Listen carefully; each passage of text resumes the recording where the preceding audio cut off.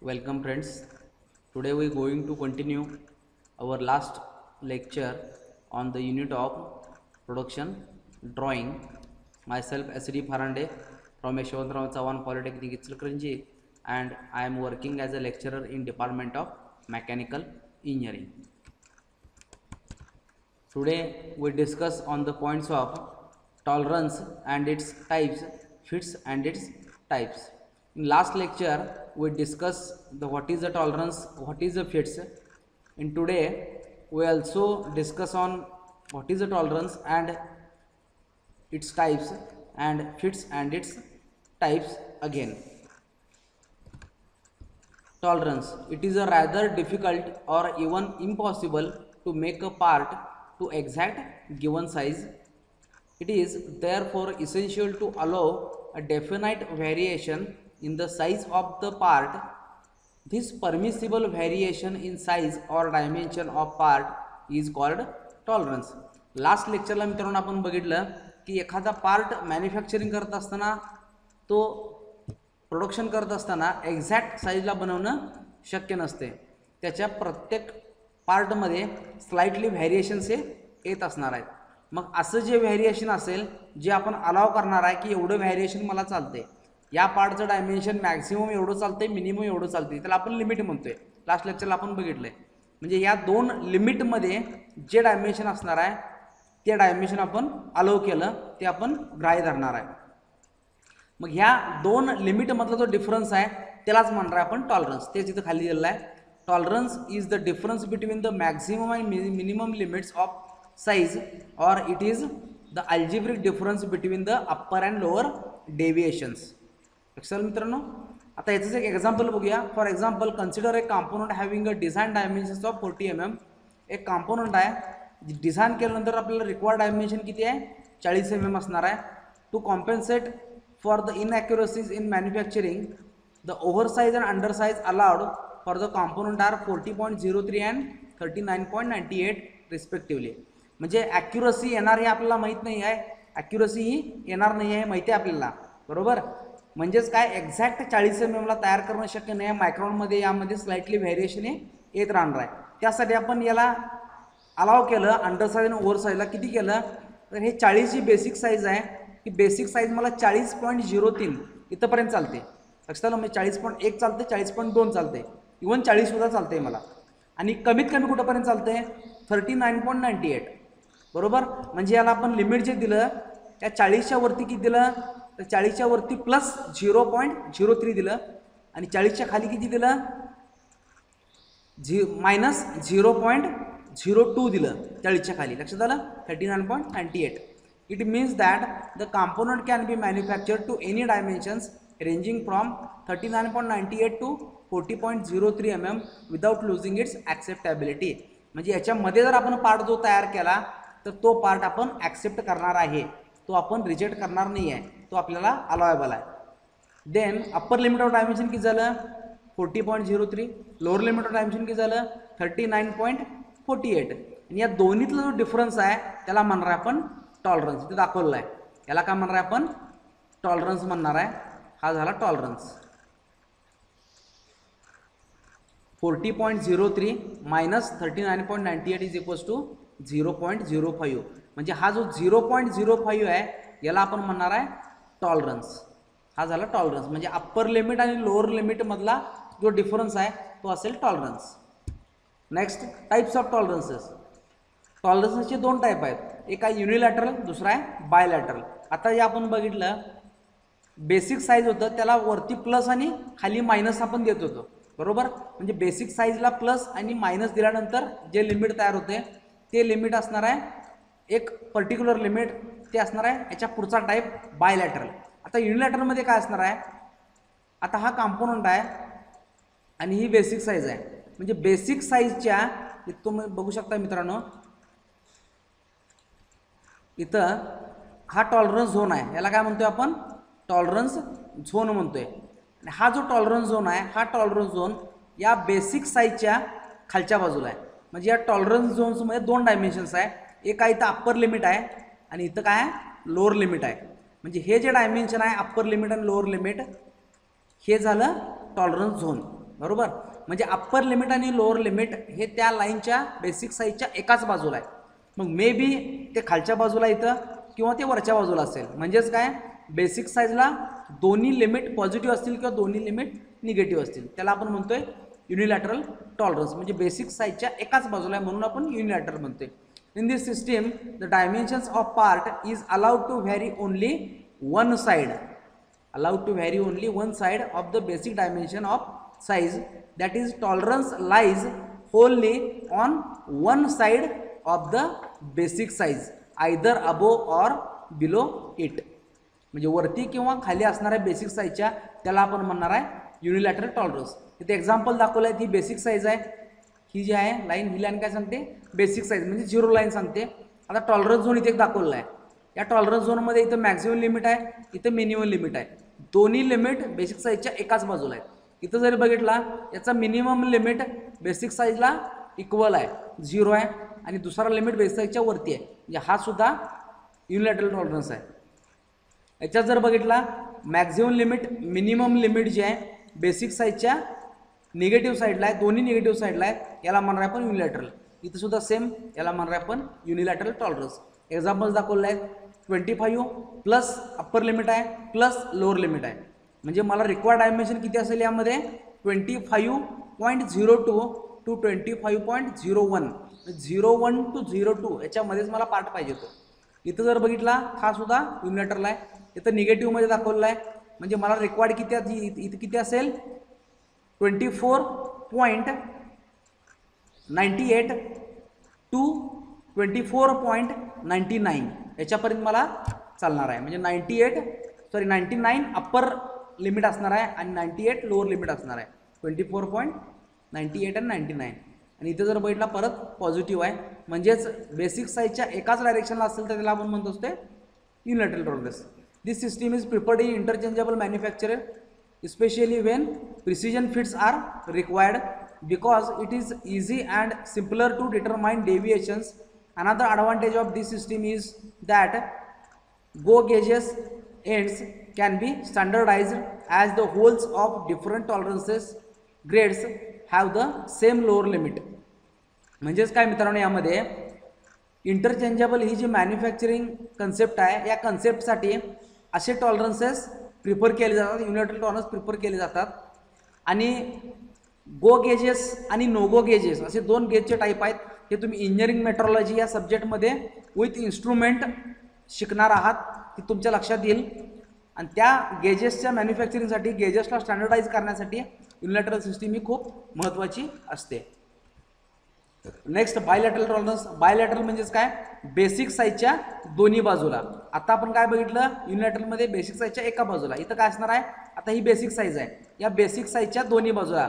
म्हणजे बेसिक हा जो टॉलरन्स झोन आहे हा टॉलरन्स झोनचा अप्पर लिमिट बेसिक साईजला प्लस आहे.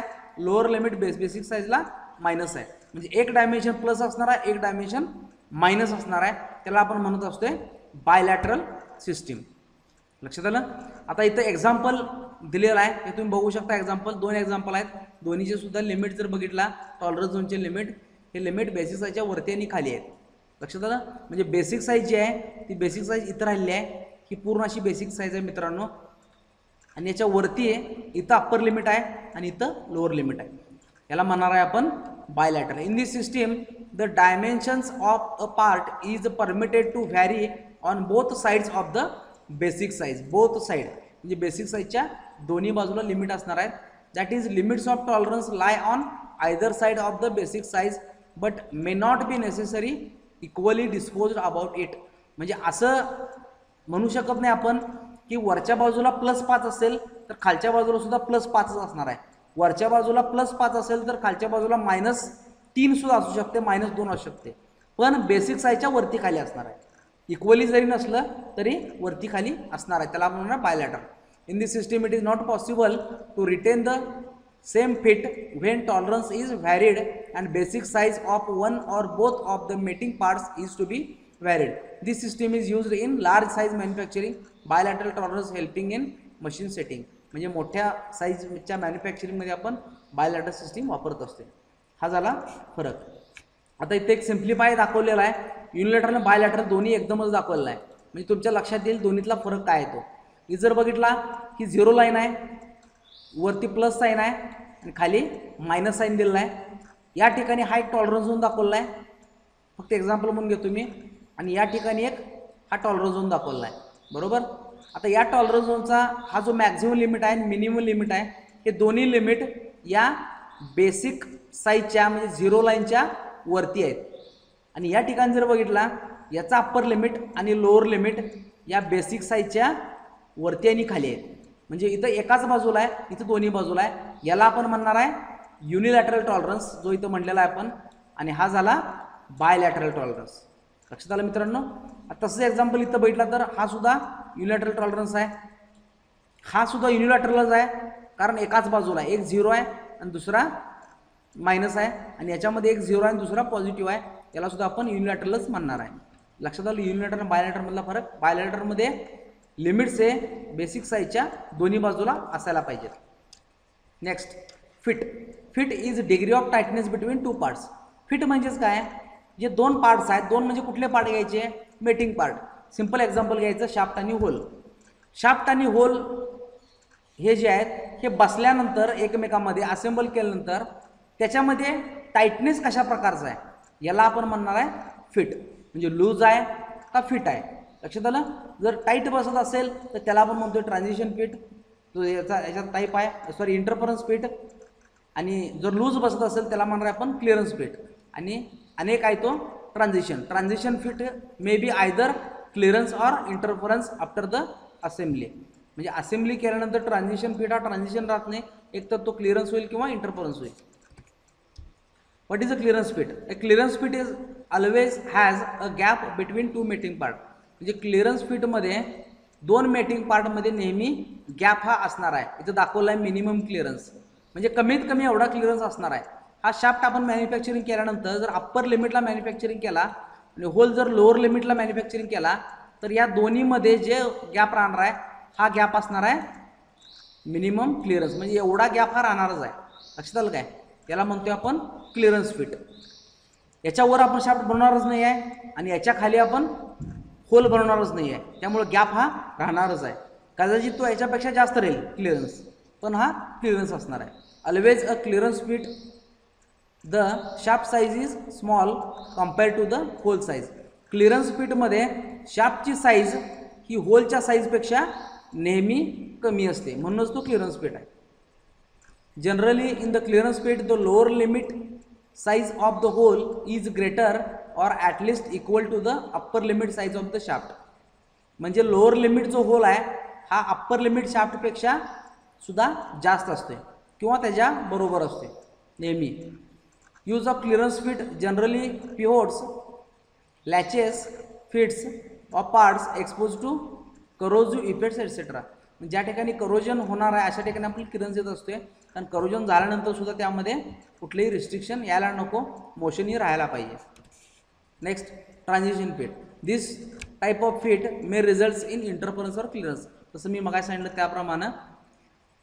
ट्रान्झिशन फिट हा कॉम्पाऊंड असेंबल केल्यानंतर एक तर तो क्लिअरन्स होईल किंवा इंटरफरन्स होईल. तो ट्रान्झिशन राहत नाही आहे लक्षात आलं?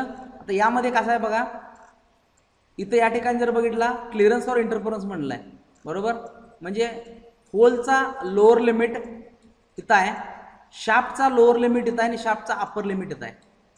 म्हणजे होल जर लोअर लिमिटला आपण मॅन्युफॅक्चरिंग केला आणि शाफ्ट अप्पर लिमिटला मॅन्युफॅक्चरिंग झाला तर हा इंटरफरन्स फिट होणार आहे. होल लोअर लिमिटला आपण डिझाईन केला आणि शाफ्ट पण लोअर लिमिटला आपण डिझाईन केला किंवा मॅन्युफॅक्चरिंग केला ॲक्च्युअल साईज त्याची तर हा क्लिअरन्स फिट असणार आहे. म्हणजे इंटरफरन्स फिट हा मे बी क्लिअरन्स असू शकतोय किंवा सॉरी ट्रान्झिशन फिट हा इंटरफरन्स असू शकतोय किंवा क्लिअरन्स असू शकते it is a fit where both clearance and interference may occur in the coupling hole tolerance zones of the here tolerance zones of the hole and shaft are partly or completely interface म्हणजे एकमेकावर ते overlap होणार आहे. The transition fit may be further sub classified as force fit tight fit आणि push fit हे परत त्याचे तीन टाईप्स आहेत. हे डिटेलमध्ये आपण बघणार नाही आहे use of transition fits is in pulleys bushing flushed boards etcetera या ठिकाणी आपण ट्रान्झिशन फिट वापरत असते लक्षात आलं का बघा? ट्रान्झिशन फिट हा मे बी इंटरफरन्स किंवा क्लिअरन्स असणार आहे after the assembly interference fit interference fit always overlap and are used mainly for press fits where the two parts are pushed together and required no other fasteners म्हणजे दोन part जोडल्यानंतर त्यामध्ये त्या दोन पार्टला जोडायला कुठल्याही फास्टनरची गरज नाही आहे अशा ठिकाणी. म्हणजे प्रेस करून आपण ज्या ठिकाणी बसवणार आहे प्रेस स्पीड जिथं असणार आहे तिथं आपण इंटरफरन्स स्पीड वापरत असतोय. The upper limit size of hole is smaller or at least equal to the lower limit size of hole म्हणजे या केसमध्ये होलपेक्षा शार्प साईज ही मोठी असणार आहे. म्हणजे होल आपण जर मॅक्झिमम लिमिटला मॅन्युफॅक्चरिंग केला मॅक्झिमम लिमिटला जर होल मॅन्युफॅक्चरिंग केला म्हणजे इथं तर त्याच्यापेक्षा सुद्धा शार्पचा मिनिमम लिमिट हा जास्त आहे. त्यामुळं या होलमध्ये हा शाफ्ट इझिली बसणार नाही आहे तो प्रेस करून आपल्याला बसवावा. Use of it is in bearings bushings flanges etcetera अशा ठिकाणी आपण वापरत असतोय. ज्या ठिकाणी इंटरफरन्स स्पीडची गरज असते आपल्याला मित्रांनो. These three fits are shown here simply for your differences between three या तीनमध्ये काय फरक आहे दाखवलेला आहे. या ठिकाणी जर तुम्ही बघितला इथं क्लिअरन्स स्पीड दाखवला आहे इथं इंटरफरन्स स्पीड दाखवला आहे आणि मध्ये दाखवला आहे हा ट्रान्झिशन फिट आहे. म्हणजे याच्यामध्ये शाफ्ट साईज जर बघितला तर ही शाफ्ट साईज मी दाखवतो तुम्हाला इथं. This is the shaft size बरोबर? या ठिकाणी इथं शाफ्ट साईज आहे म्हणजे शाफ्टचा टॉलरन्स झोन आहे. इथं मध्ये ट्रान्झिशन फीटमध्ये इथं टॉलरन्स झोन आहे शाफ्टचा इथं शाफ्टचा टॉलरन्स झोन आहे.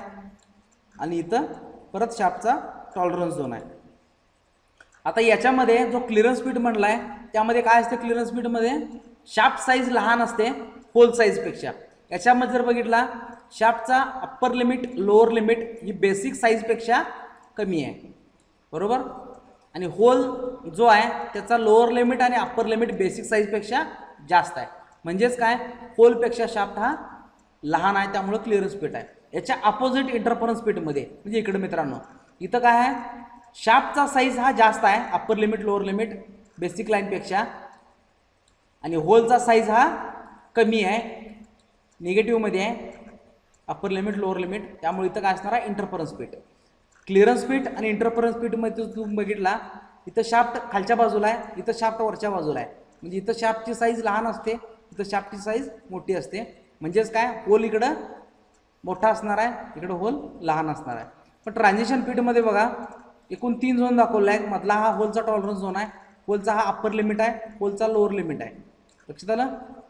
समजा शाफ्ट या डायमेन्शनला आपण मॅन्युफॅक्चरिंग केला तर तो क्लिअरन्स फिटला जाऊ शकतो जर या साईडला आपण मॅन्युफॅक्चरिंग केला तर तो सॉरी इथं इंटरफरन्स फिटला जाऊ शकतो इथं क्लिअरन्स फिटला जाऊ शकतोय. आणि या ठिकाणी हा आपण मॅन्युफॅक्चरिंग झाल्यानंतर सांगू शकतोय की हा क्लिनर्सला जाणार आहे का इंटरफरन्सला जाणार आहे? म्हणजे मॅन्युफॅक्चरिंग करण्याच्या अगोदर आपण जो फिट देत असतोय डायमेन्शनली तो आहे हा ट्रान्झिशन फिट लक्षात आलं? म्हणजे transition fit may be clearance or interference म्हणजे ट्रान्झिशन फिट हा एकतर क्लिअरन्सकडे जाईल किंवा इंटरफरन्सकडे जाईल. हा त्यातला फरक आहे. Okay To get latest videos and notification, please subscribe this YouTube channel and like and press the bell icon.